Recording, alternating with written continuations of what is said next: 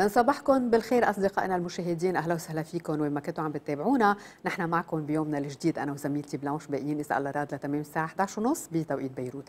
المحطة الأولى رح نحكي فيها عن السمنة لدى الأطفال وما أكثرها وهي بازدياد مستمر. رح نعرف شو الأسباب ونعرف كيف ممكن نتخلص شوي شوي من هالسمنه أو هل في وسائل بنقدر نخفف فيها هيدا الشيء عند الأطفال. بالسنة رحب بدكتور شارلوت أبو الياس استشارية بأمراض الغدد والسكري. دكتور شارلوت صباح الخير. صباح الخير. أهلا وسهلا فيك ينعاد عليك. شكرا. آه دكتور نحن اليوم بدنا نحكي عن السمنة عند الأطفال.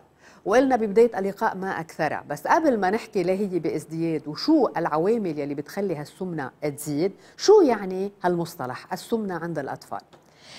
تعريف السمنة عند الأطفال. دايما نعرف إنه الكبار بيحسبوا ال B MI بيشوفوا إذا بين ال 25 وال 29.9 يعني وزن زايد فوق ال 30 بلشنا بمراحل السمنة. يعني moderate obesity severe obesity morbid obesity morbid obesity ال BMI يعني كثافة الوزن أكثر من 40 كيلوغرام بال mètre carré بينما عند الأطفال بالتعرفة كيف بناخذ ناخذ الطول على النموذج البياني ال growth charts الموجودين بدفاتر السجل الصحي تبع الأولاد.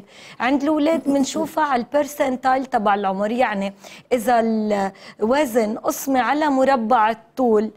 أعلى من بين ال 85 وال 95 percentile يعني طلع أعلى النموذج البياني بيكون overweight وزن زايد وأكثر من 95 برسنتايل يعني عندنا السمنة وأكثر من 97 يعني عندنا السمنة القاتلة morbid obesity بنبلش بال severe obesity و morbid obesity على 99 percentile يعني خدها على النموذج البياني للوزن قسمي على مربع الطول. طيب دكتور شو العوامل يلي بتخلي هالسمنة تزيد عند الأطفال؟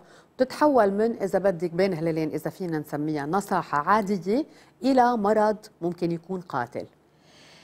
النصاحة العادية يعني مثل ما قلت حسب التعرفة شوي يكون overweight بس مرض قاتل وقت يكون الولد أو عنده انسولين كتير كتير عالية عنده الكورتيزون كتير عالي أو عنده ربو عم ياخد كورتيزون أو شي مرض معين عم ياخد كورتيزون أو عنده كسل بالغدة وما اكتشفناه على بكير أو بكل بساطة يلي هو 99% من سمنة الأطفال قلة الحركة وزيادة أكل الأكل خصوصي ال junk food والأكل اللي فيه calories بنقول لهم empty calories يعني عم ياكلوا مارشميلوز وشوكولا وويفر وتشيبس يلي ما فيهم فيتامينات ولا بروتينات بس فيهم سعرات حرارية فارغة. وعم يحضروا TV و PlayStation وهلأ تابلت بلا ما يلعبوا ويتحركوا لأن الولد خلق ليلعب ويتحرك مش ليضل قاعد كل النهار. يعني هلا دكتور عم تحكي بشغلة كثير مهمة هي minimum example chips قدامنا قدام ال TV أو اللابتوب. بيكونوا حاطين الكيس أو كيسين أو أكثر وقاعدين الصبايا والشباب تشيبس وعم بيحضروا غير إنه تشوكلت وغير غير أشياء كثيره بياكلوها هن وقاعدين. كوكا كولا كمان مشروبات غازية. يعني المشروبات الغازية اللي فيها كثير سكر حوالي العشر ملاعق. وعندك الجوس المعلب كمان فيه كمية سكر وصبغة كثير كبيرة يعني. دكتور كل جسم بياخذ نفس التأثير يلي بياخدوا من من هول الأشياء اللي كثير مضرة إن كان تشيبس أو إن كان مشروبات غازية أو إن كان شوكولا زايد عن اللزوم. كل جسم بيتفاعل معه بنفس الطريقة. مش كلهم بنفس الطريقة أكيد لأنه في أولاد بيلعبوا أو مشتركين activité sport عندهم عضل. العضل بيخلي ال energy expenditure يعني ال calories اللي بنحرقها بالنهار أعلى. من الاولاد اللي كمان متنبلين وما بيعملوا sport بالخالص يعني ما عندهم عضل ابدا. هدول ما بيحرقوا ابدا وخصوصا إذا في خلل بالهرمون. الاولاد اللي عم ياخذوا كورتيزون أو عندهم كسل غدة أو الإنسولين صارت كثير عالية أو العائله عندها استعداد لل obesity يعني من ناحية الوراثة. caractère héréditaire caractère جسمهم ما بيحرق لأنه عندهم استعداد للنصاحة. أكيد رح ينصحوا أكثر من هوليك بكثير أكثر من الأولاد التانيين بكثير شو فينا نحن نعمل؟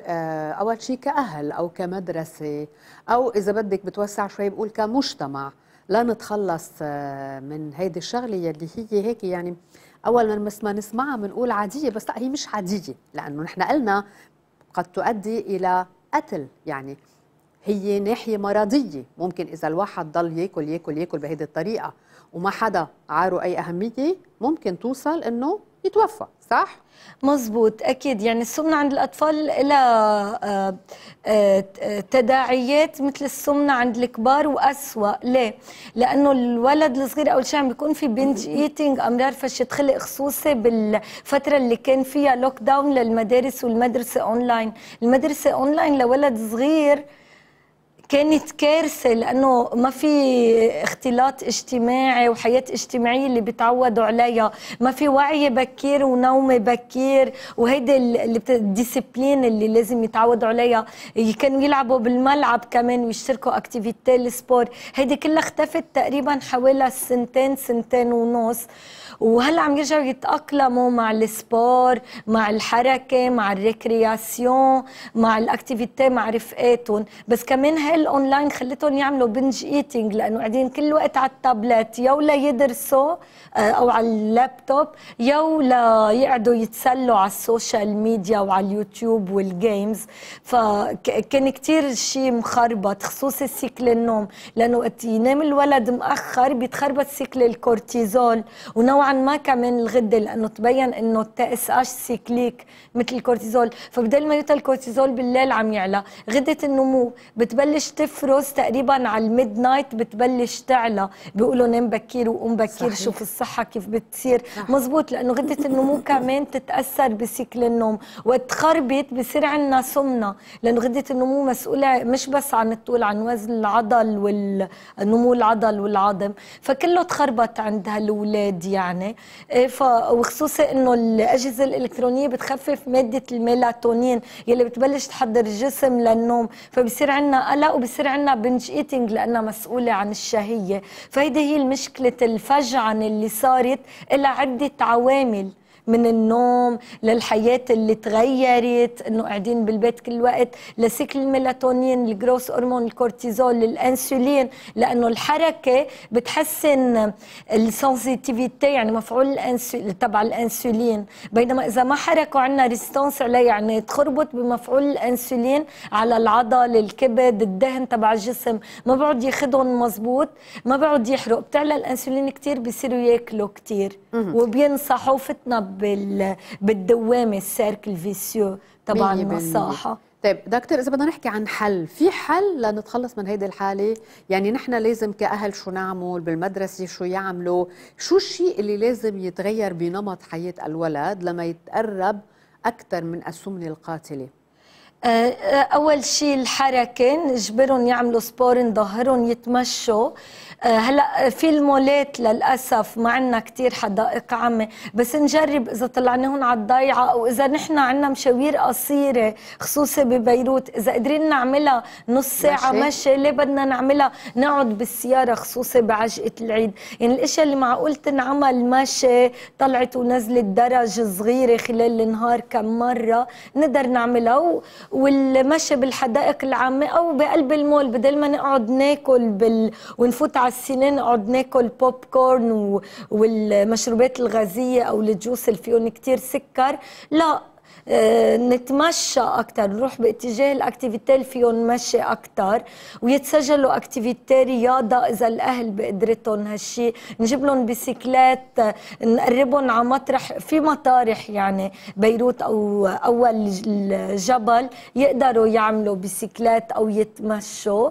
آه، يعني نتجه باتجاه الرياضة أكثر والأكل الصحي يعني ما ضروري يطلبوا دليفري ما عاجبن طبخ أمهم لا نمشي على الخضرة الطبخ الطبخ اللبناني ال Mediterranean food يعني خضرة شوية رز شوية بطاطا شوية لحمة شوية سمك شوية دجاج مش كله مقالي و nuggets و delivery وبيتزا وهمبرجر ومايونيز و fries. مقابل التنبلة والقعدة على ال TV ويجربوا ما ياكلوا هدول الأشياء ال biscuit وال wafer وال chips تعطيهم أمهم fruit حقيقي يعني ياكلوا وجبتين ثلاثة فواكه بالنهار الولد بحاجة لثلاث وجبات.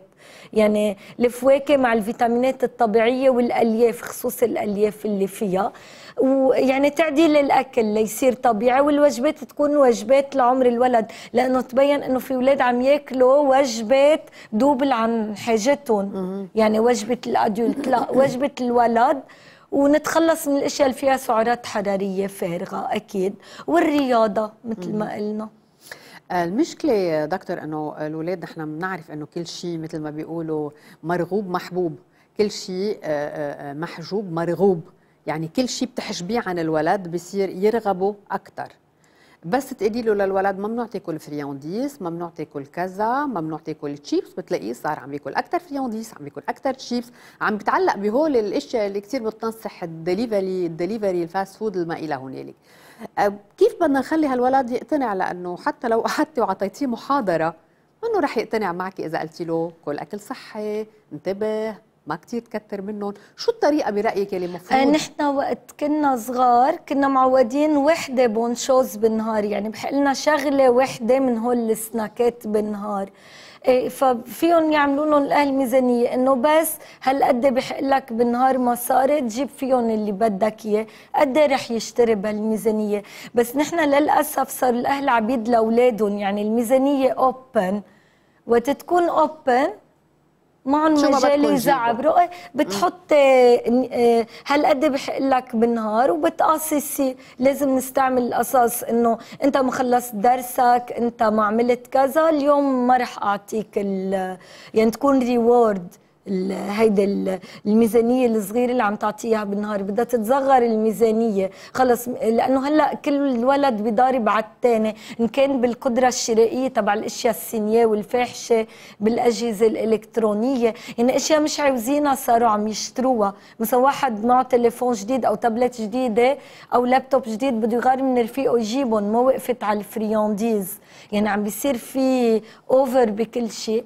نرجع للحياة الطبيعية اللي تربى عليها الجيل اللي أقدم يتعودوا. وكمان من ناحية الأكل رح تتغير لأنه هي لاحقة كل شيء بال وقت تكون open هي open لكل شيء. ونخوفهم لأنه ما رح يطولوا مزبوط لأنه السمنة بت بت بس بدهم يعملوا بيطولوا قبل رفقاتهم. بس بعدين وقت بدهم يعملوا قفزة النمو ما بيعملوها. هل 13 سم وقت يبلغ الصبي أو البنت ما بيقدروا يعملوها في بيرجع بيتأخر طولهم وبيعملوا التواء بالسنسله في عنا للأسف وجع مفاصل عبكير لأنه تكلس على الوزن غير التواء السنسله اللي بعرضهم ل disc عبكير. وهون ما بيقعدوا يقدروا يعملوا sport. تخيلي ولد 18 سنة عنده مشكلة بسنسله ظهره أو بركابه.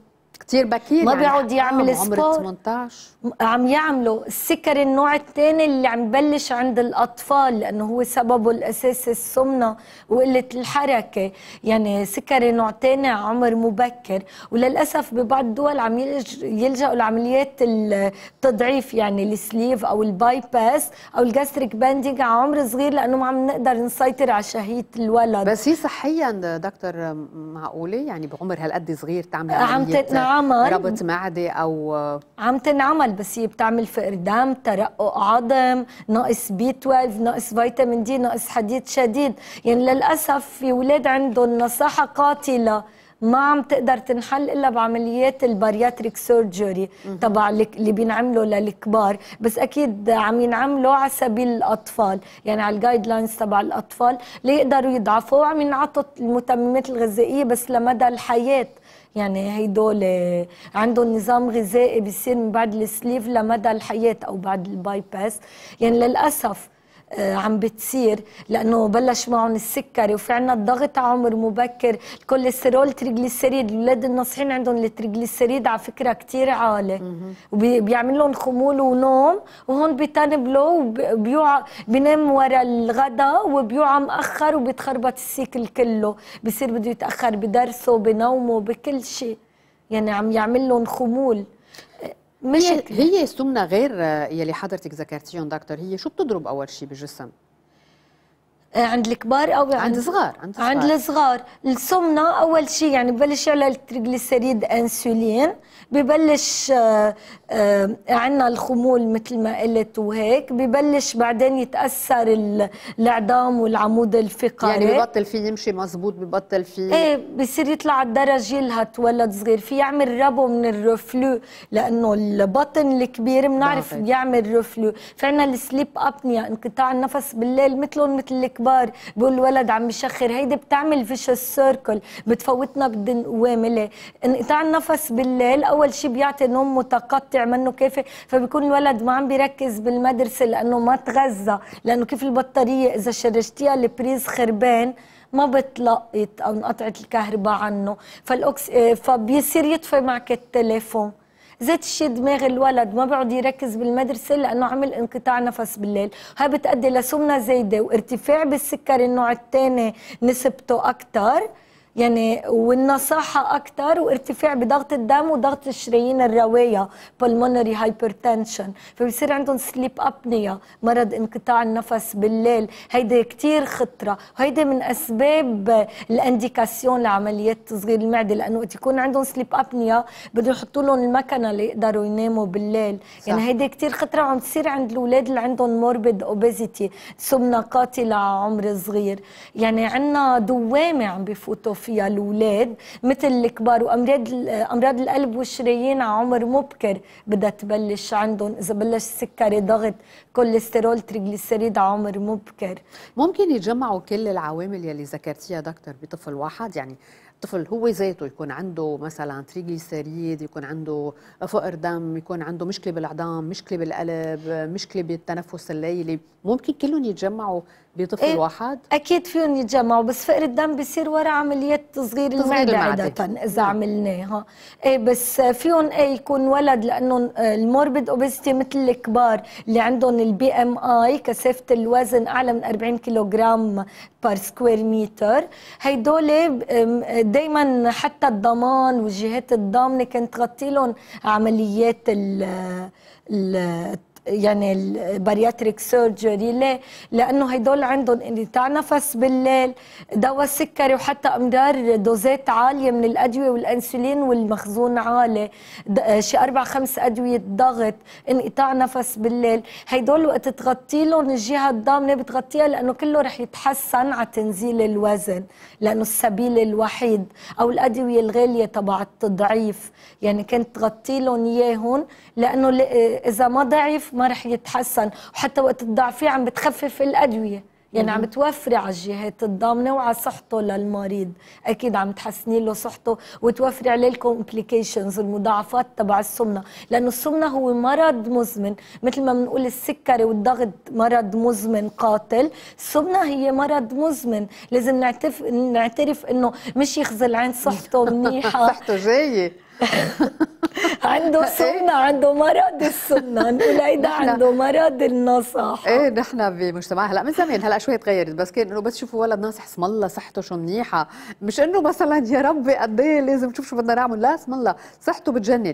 طيب آه، حملات التوعية طلعاتكم الإعلامية دكتور قد إيه مهمة وقد إيه إذا بدك ساهمت بنشر الوعي بهذا الموضوع لأنه أنت عم تحكي عن شيء مزمن دائم. يعني دائما بده حملات توعية بده دكاترة تطلع تحكي على الهواء يسمع الطفل وتسمع الأم ويسمع البي شو ناطرهم إذا ما اتخذوا الخطوات اللي لازم يتخذوها.